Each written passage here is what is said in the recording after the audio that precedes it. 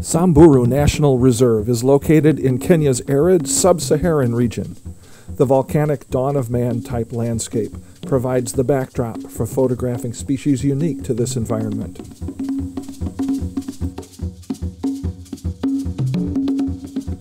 The Uaso Nyiro River is the heart of this ecosystem, providing life giving water from the Aberdare mountain range.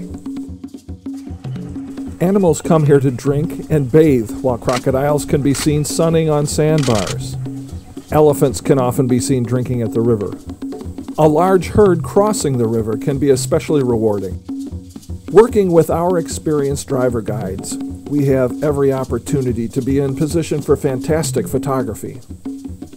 Whether from the opposite bank, at eye level, or right in the middle of a herd of 70 elephants, photographers can choose the lens that will best capture their artistic vision.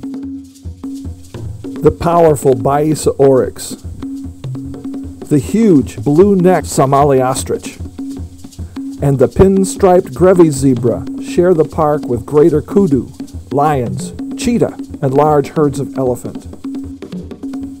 Samburu is also one of the best places to photograph the elusive leopard.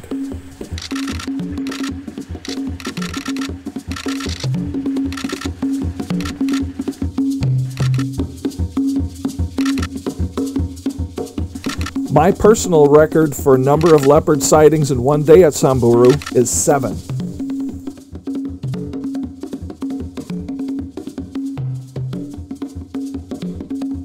Endangered reticulated giraffe, with their smooth-edged caramel-colored spots, are plentiful here and offer dramatic behaviors to photograph.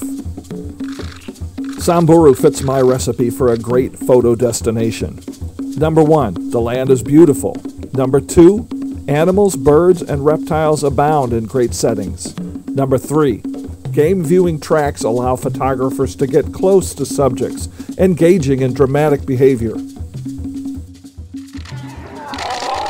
The park is part of Samburu tribal lands, which allows us to interact and photograph these indigenous tribal people.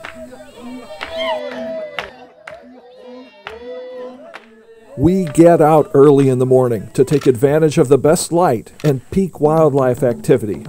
And Gustafson Photo Safari never puts more than three people in a van, giving optimum working space for big lens photography.